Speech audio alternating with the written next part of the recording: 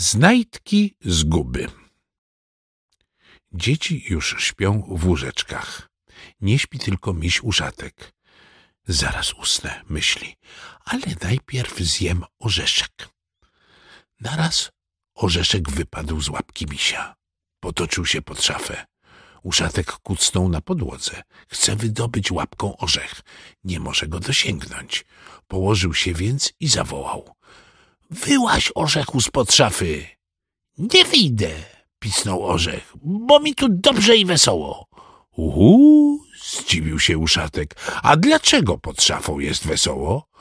Bo jest tu stary ołówek Jacka, guzik od fartuszka Zosi i czerwony koralik. Opowiadamy sobie różne historie i śmiejemy się.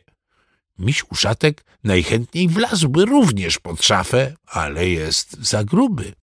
Orzeszku prosi, będziemy razem śmiać się i opowiadać różne historie. Wyjdźcie wszyscy spod szafy.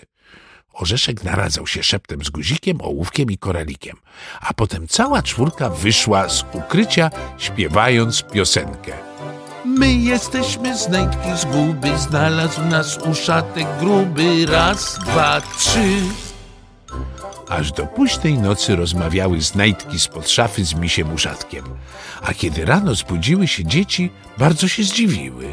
Skąd się tu wziął dawno zgubiony ołówek, dawno zgubiony guziczek i zapomniany już koraliczek?